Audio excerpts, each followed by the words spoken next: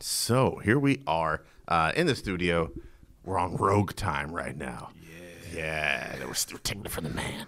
Poprika after dark. Poprika after dark.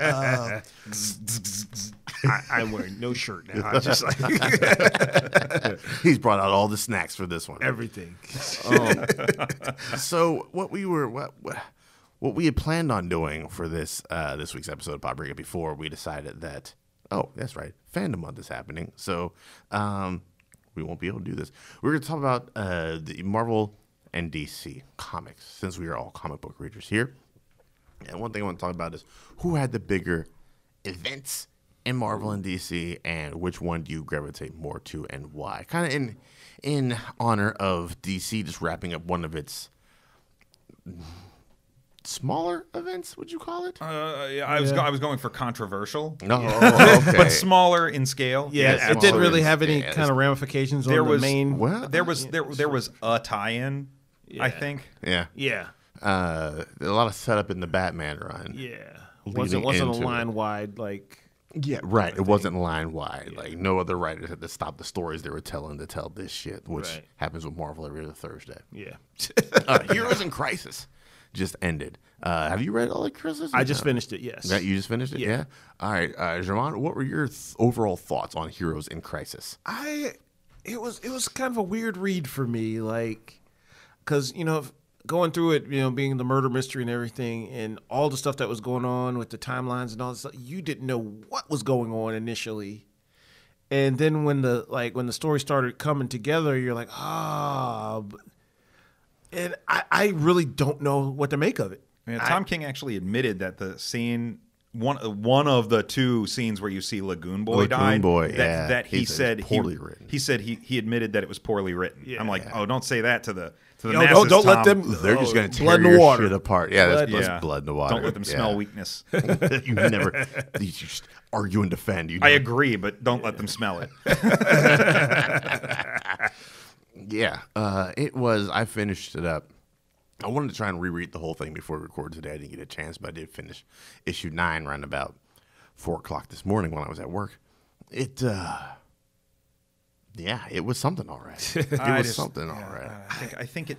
It started out Yeah. so promising, man. Yeah. It's like a murder mystery. Who killed these dudes? And Tom King's like, yeah, I want to touch on mental health issues. And you're like, all right, then cool. That's going to play a part. I don't think anybody expected it was going to. It was going to take over 85 to 90 percent of the story, whereas the murder mystery took a 10 percent backseat. Because Yeah. I think, like you see, Batman, Well- Superman, and Wonder Woman are doing investigation, and they just kind of disappear after issue four or five. Yeah. You don't see them again. literally when I think I was like halfway through the series when you because they were showing all the little confessionals in between. Yeah. And when the main, you know, perpetrator's um confessional came up, I was like, he- he did it. Oh, so you, you, you I knew like right then and there. I was like, oh, yep, it was him. Okay, all right. Uh, what do you think about it, Brian? I, Overall, I, look, I think a lot of the ire that it's drawing is related to Wally West, mm-hmm. and I think that overlooks the fact that I think fundamentally its message about mental health fails. Yeah. because I th- because I think the end of the book implies that yeah, you made a mistake, but all you need are friends. No, you made a big mistake and you need therapy and prison.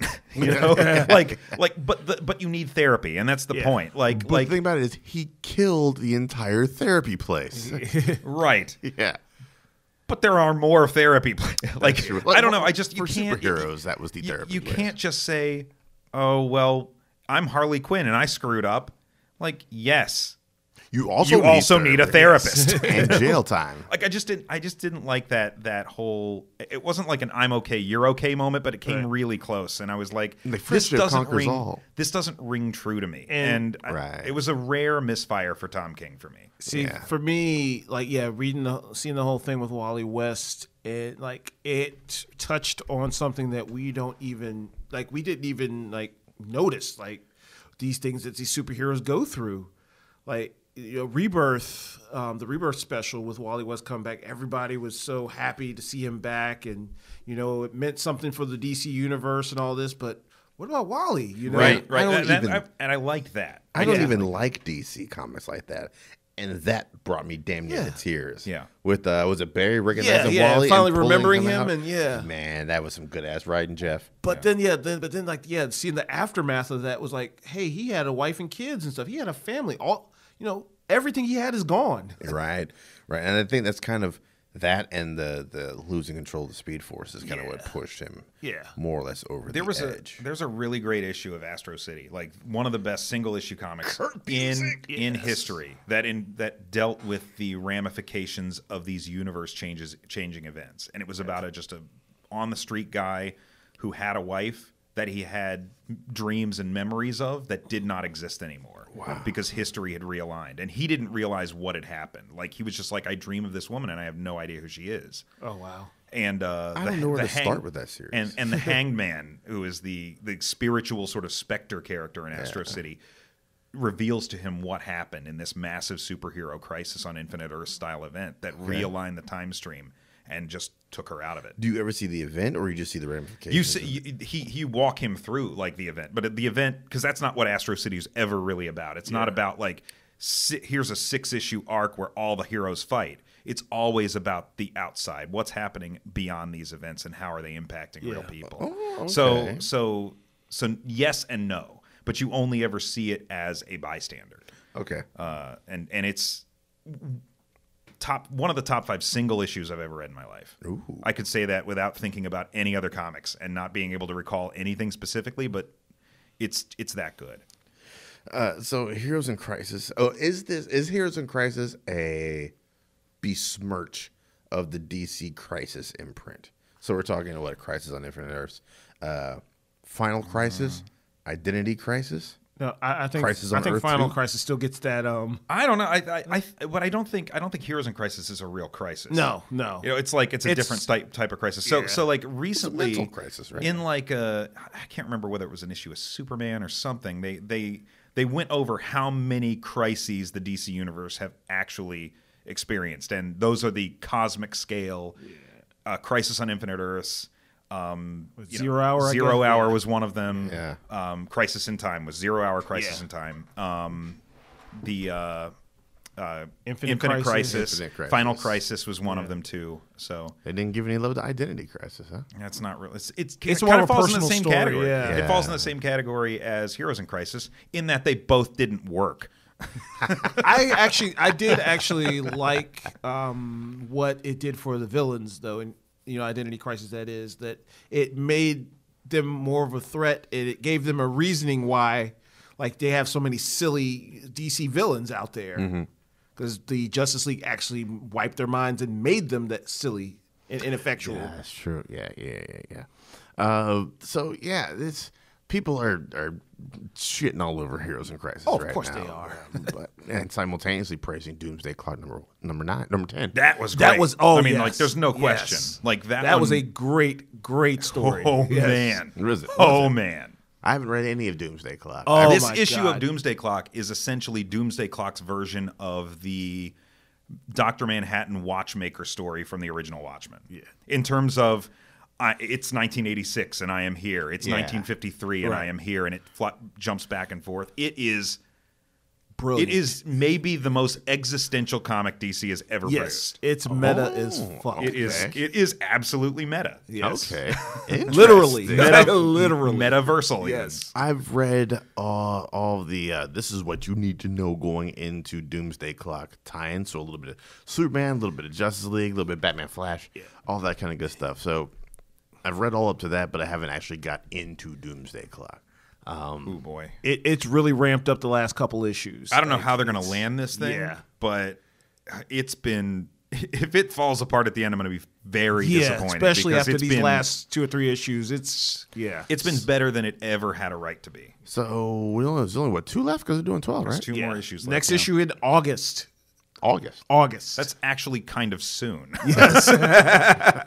for this book. Do you guys think because Watchmen had a whole bunch of delays? if Yeah. remember correctly, Do you guys think that some of these delays might be purposeful? I- I to- wondered about that. to to kind of recreate that feeling of 'Cause- Watchmen. 'cause- Well- go ahead. oh, I'm sorry. I was gonna say, well, not on so much that, but I think it's Gary Frank.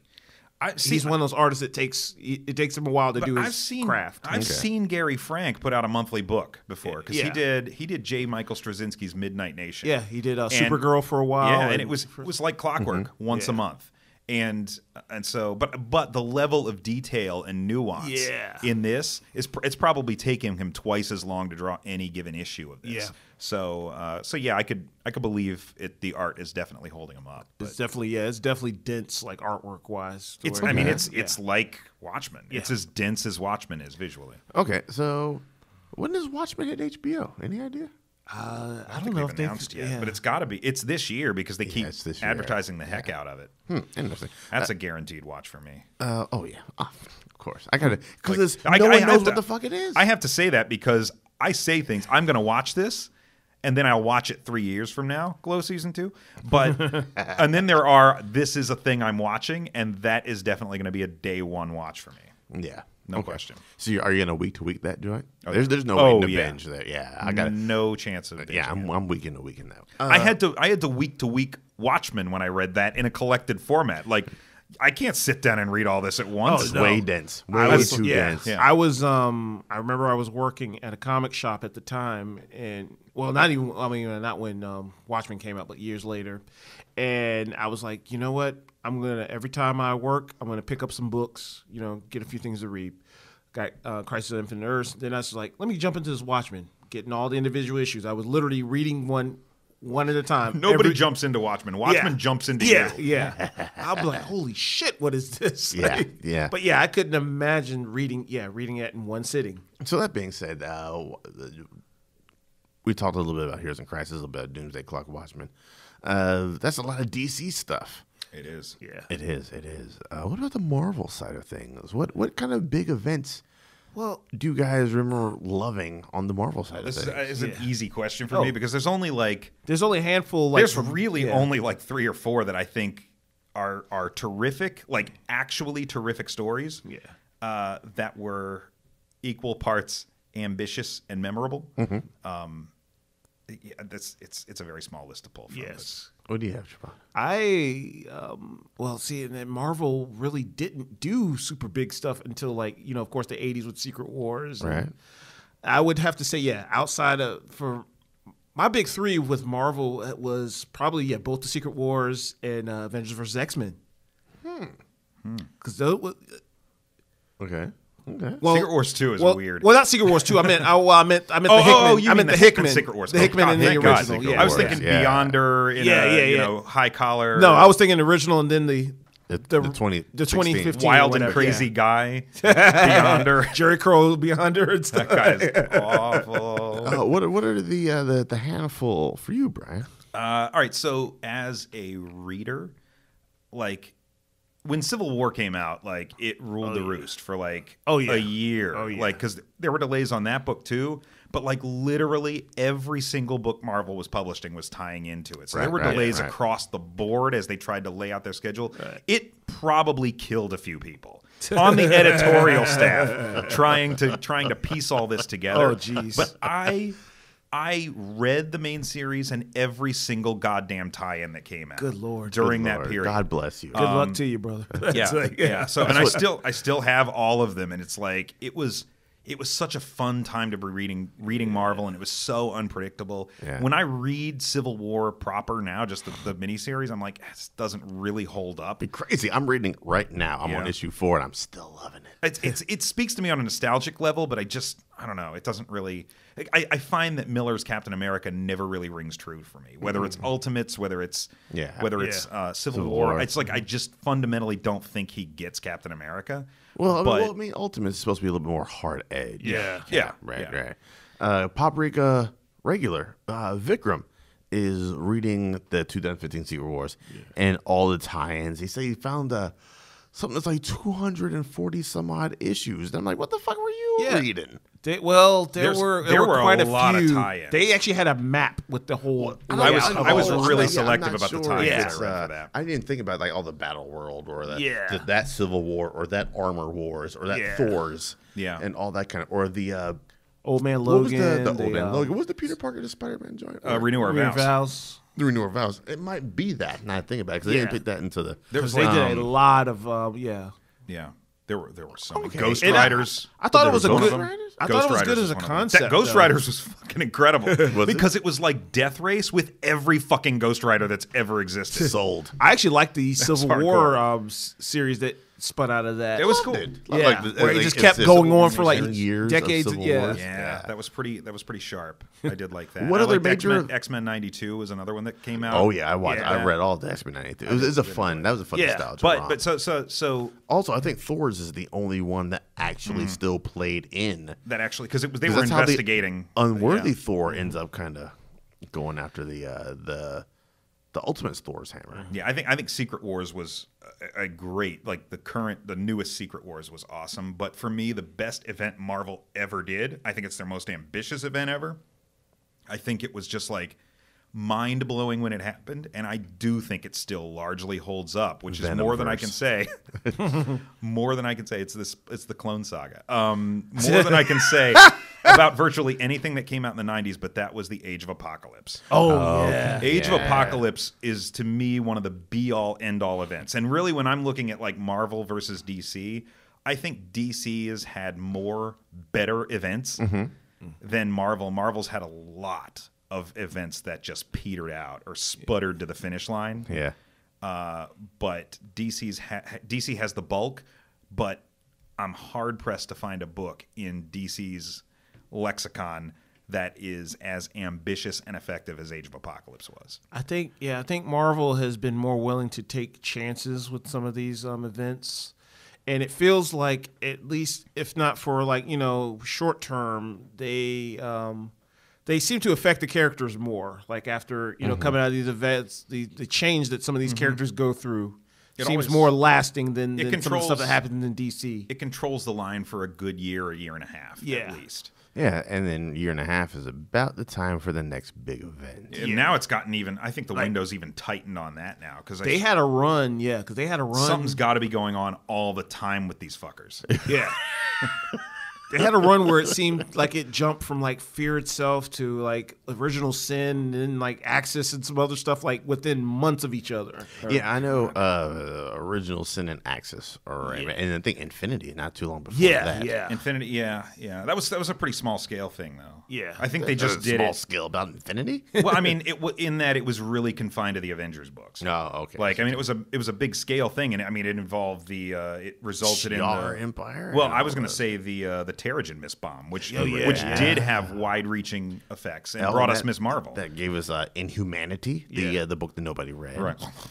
kicked all kicked all the X Men off to the They side.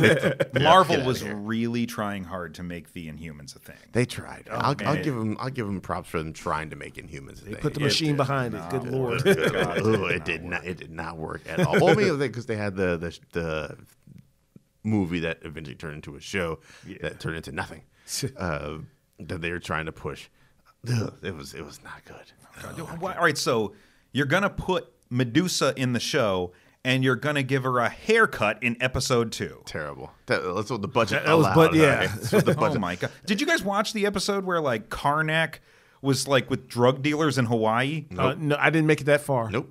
I was like, the f- the hell with this. I literally- I so done with it. I literally like because there was one point where I was like I was trying to give it a chance, and you know because when they got to that part with that first part with Karnak where he was like breaking down this fight with all these guys, Right. that was amazing. You amazing. wanna give it a yeah, chance because was of like, that. Like, That's kind of okay, cool. all right, But then I was like, yeah, once they got to Hawaii and all that, so I was like, oh Man, yeah, I'm, boy, I'm- did that's a wrap. I can't do this anymore. Screwed the lockjaw on that one, guys. yeah, I, I refuse to watch any any parts of that. Whatsoever. Anson Mount also like sucked. He re- he and rebounded. he's so good He on rebounded, Discovery. yeah. so fucking good. Um, so when it comes down to it, do you think DC has the better event stories? Because don't forget about Convergence. Oh, that was the Oh. thing. I mean, Convergence terrible. Um, there, there've just been like I can't say like. They- Infinite Crisis was a mess, and Crisis on Infinite Earths is a mess. But here's Well- the thing: DC stories, like we were talking, Marvel's Marvel's is always about the next big thing and moving on to the next stage of the Marvel universe.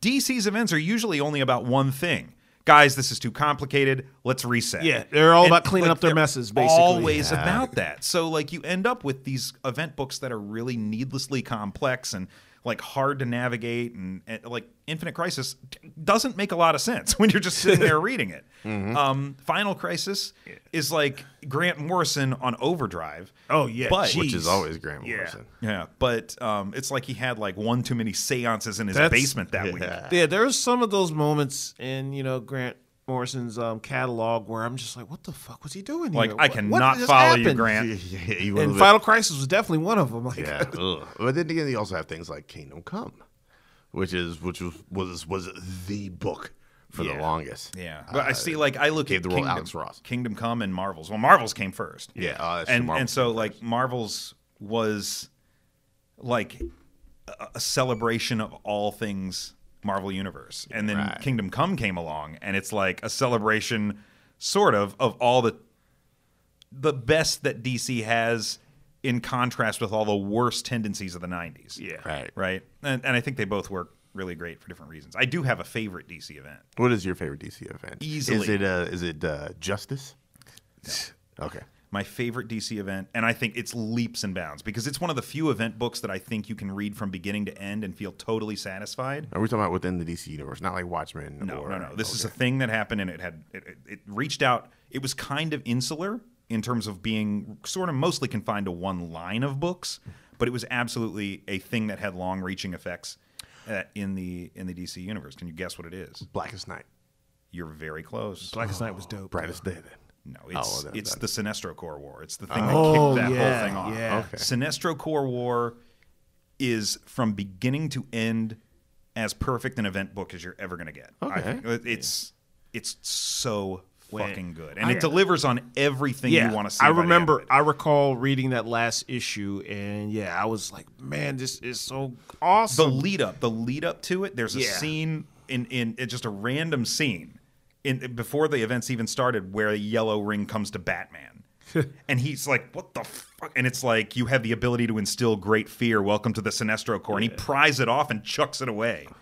And he's like, "What in the hell was that?" And then the ring goes to Crane after that. I uh, uh, I just when it comes to hoop superhero comics, I I like my stories very earthbound. I've never been a big fan of of anything in the magical realm, so I don't really fuck too much with Doctor Strange or or magic. Yeah. uh, of the new mutants that'll never come out, uh, or or space. Like I, I'm not a. Uh, there's other people within Poprika that are very much uh, Nova, Guardians of the Galaxy, Green Lantern. I let them deal with that. I, I, I take care of everything that's, that's Earthbound. So I never never read the Sinestro Corps War.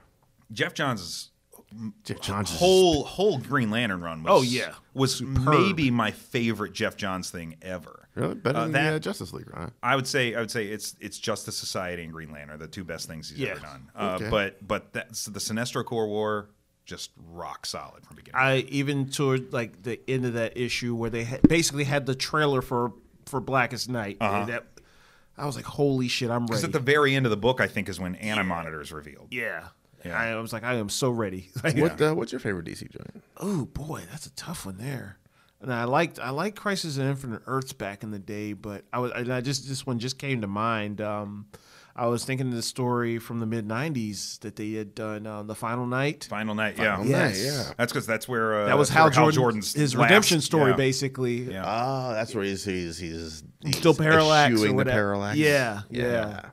And he like he like one of his quote unquote last deeds was you know reignite helping to reignite the sun.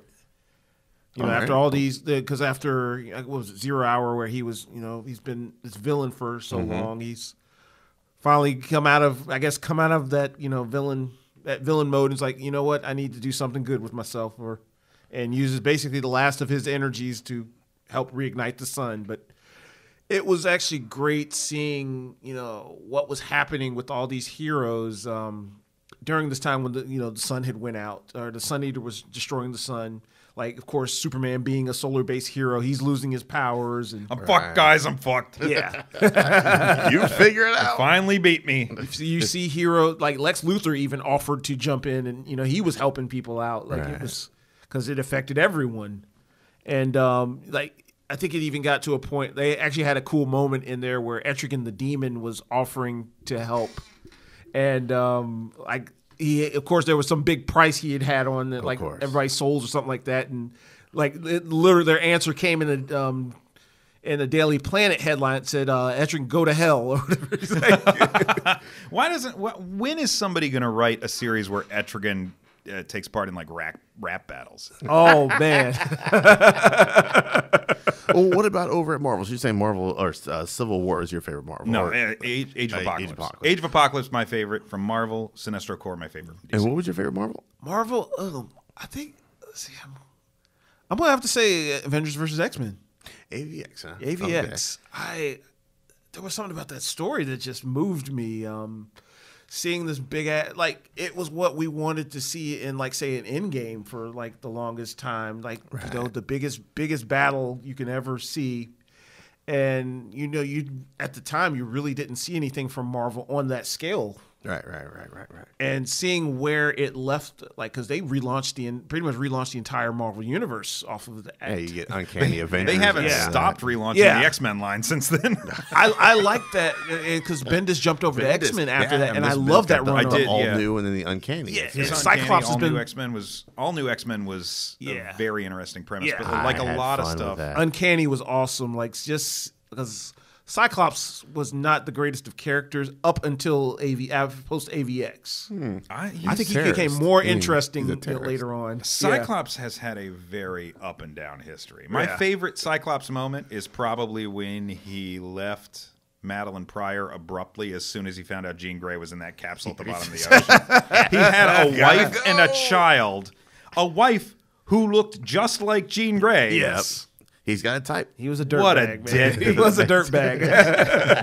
Like, and then you look at Cable and it's like, I get it. Yeah. I see why you ended up like this. That's true. That's but true. yeah, they were. Yeah, Marvel was like really um, flowing after that with the creative juices and everything. Like some of these books that were yeah spitting out of um, AVX. Like, like yeah, Yeah, Uncanny, Avengers, was, was um, pretty cool. The the final page of that first issue of Uncanny Avengers with the Red Skull holding Charles Xavier's brain in his hand. yeah. I was like, well, Come on, it's like buckle up, guys. that. Um, we got we got because we got Hickman's Avengers stuff. The new Avengers Mm-hmm. run was like the, the, the that is, Illuminati. to me, the greatest run of a superhero comic. yes, is the Hickman yeah, Avengers it's, run. it's very good. Yeah. yeah. All right then. Well, we have had our thoughts on Marvel versus DC. What is your favorite DC? Yeah, yeah. Oh, I think said. DC, yeah. Uh, my favorite Marvel is going to be. It was Civil War for the longest, but uh, it's it's it's Secret Wars, and Okay. everything that leads I love up into Yeah, Secret it's- Wars. it's awesome. I plan on rereading it again later on this year. Uh, I if you were listening to this and you don't read comics, well, why are why are you still 27 minutes into this show? uh, or if you if you're not a big fan of superhero books, that's that's what I suggest you check out. Is the is the Hickman New Avengers Avengers run and everything that leads into Secret Wars. Uh, DC wise, events. I mean, I'm not really a DC dude. Like DC just doesn't doesn't, doesn't do it for me. Uh, I really love the fuck out of some Kingdom Come though. Uh, not only is it beautiful, but just the return of Billy Batson. Oh, after having forgot who he was for some like 30 years. Yeah. and he was trying to figure out shoo, sha, sha, ah, shazam. Yeah. And then, yeah, just Superman on his way to, to go save whatever. And then that bolt of lightning just strikes him Oh, out of the yeah. ground. He's standing over him in that pose. Uh, the big red cheese. Um, yeah, yeah. It, so no, yeah, no, no big events for me. But it, the, but my favorite DC story, as far as the the DC universe is involved, is Kingdom Come. My favorite DC story is probably Long Halloween. That's a different story. So fun, uh, fun, fun fact about the, the Kingdom Come: the the first time you see Batman's robots patrolling Gotham City, there's a gang that they're chasing. Yep. It's the Cosby Kids. What? Wait, Oh what? wow! If you look back at it, it's definitely the Cosby Kids. I got to go back and read that now. I never, I never looked at it. I'm like, all right, this is Check just it. some random, Check random it. You look kids at that it now, they're- you're gonna be like, Oh, that's my Is that when Cosby he's like feeding them orders from the Batcave or whatever? Yeah, yeah. When he's just in the Batcave and like all Superman's those there or whatever? robots are like patrolling. yeah. yeah. yeah, Okay, well then, That Well would have then. that would have been awesome five years ago. I said now it's like that was like, ooh, oh, geez. hashtag me too. I, I said for the longest that uh, what DC should have done is worked their way up to uh, Batman versus Superman, or worked their way up to The Dark Knight Returns being their Civil War, right? Uh, and then once that kind of that dust has settled, when all the actors are like, "Look, I got one more left in me," they should have ended with Kingdom Come, and that would have been a great way to end the the DC extended universe. But we didn't get that because uh, it's DC. Uh, so that's gonna do it for this little mini episode here, uh, talking about some comic books. Uh, hopefully, you guys enjoyed it. And uh, go ahead and retweet it out, man. Let people know all your comic book reading friends. If you don't read comics, uh, it's just yet another another form of storytelling that people I don't think take seriously. I think people really still think comics as uh, Superman and Batman with the you know the pants on the out or the trunks Yeah. on the outside of their It's that stigma, pants. like it's like kids' funny books. Kids' But funny they'll books, read but- Harry Potter but they'll read Harry Potter books. Yeah, uh, superhero comics only uh, are something like ten percent of all comic books. Yeah. uh, strangely enough, but there's something in there. There's still great stories. Great, they are this this generation's Greek gods and goddesses, Yeah. right? Yeah. Uh, so check that Modern out. myth. You- They, they are the is. modern myth. Yeah. So go ahead and check out some comic books. Don't be get off your your fucking high horse, and that'll do, that'll do it for this. You guys take it easy.